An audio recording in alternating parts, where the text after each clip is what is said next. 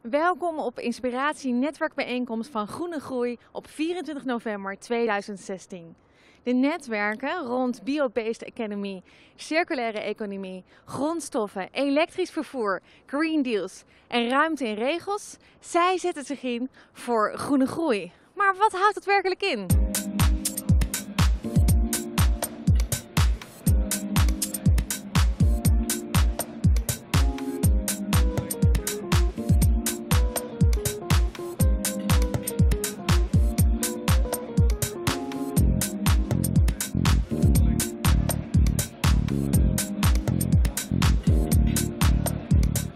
Welke wijze bent u bezig met groene groei? Vooral thuis eh, probeer ik ook, eh, wat zij al eigenlijk zegt, beter op te letten met wat je eet en eh, met afval scheiden. Ik werk bij Rijkswaterstaat. En ik doe beoordeling of een stof een afvalstof is of niet. Um, ik ben uh, Miss Eco Netherlands 2016. Dan vraag je me vast af, nou, wat doe je dan? Uh, het is mijn doel om Nederland uh, te verduurzamen op een hele leuke, positieve manier. Wij produceren meststoffen voor de, voor de tuinen onder andere. En uh, ja, we zijn benieuwd om op de lange termijn misschien ja, de, de productie van die meststoffen te, te vergroenen.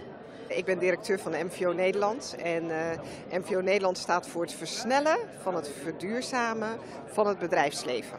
Heel hartelijk welkom hier bij de Inspiratie en Netwerkbijeenkomst Groene Groei.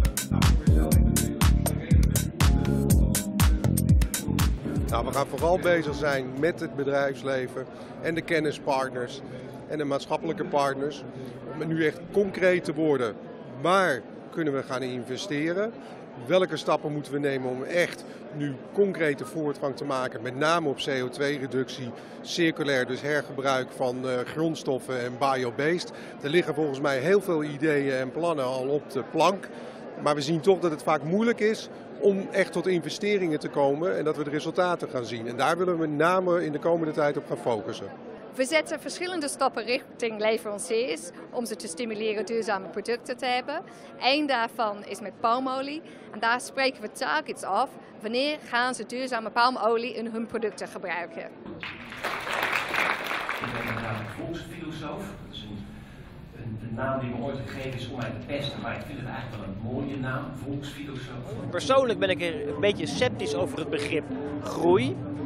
En wat mij betreft betekent, dat is niet altijd nodig vind ik, maar afijn, als je het toch wil dan moet je dat natuurlijk op een groene manier doen. En groen betekent voor mij duurzaam, dat is wat het voor mij betekent. En duurzaam betekent simpelweg rekening houden met toekomstige generaties. En het is zeker mogelijk om te groeien rekening houdende met toekomstige generaties, geen probleem.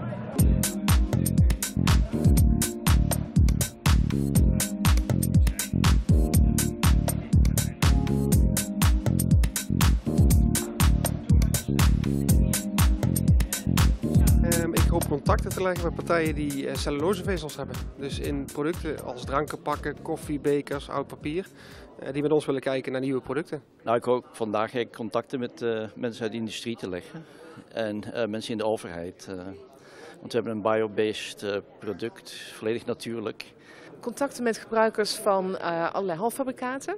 Want wij produceren grondstoffen voor allerlei chemische producten, coatings, uh, face materials, die ook de Albert Heijn werden genoemd. Er zitten heel veel motorrijders, zij misschien wat uh, slapende motorrijders. En die hoop ik op deze manier wakker te maken. Plus een aantal mensen bewust te worden dat er ook gewoon elektrische motorfietsen zijn. Er zit een punt achter zijn werkzame leven.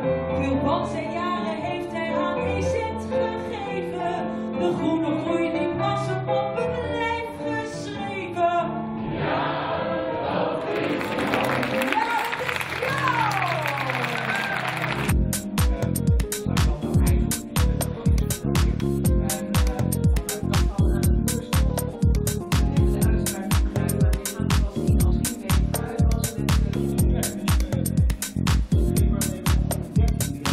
Wat een verrijkende dag was dit. Inspirerend met geweldige sprekers, geweldige netwerkbijeenkomsten. Ik zeg op naar de volgende Groene Groei evenement. Tot ziens!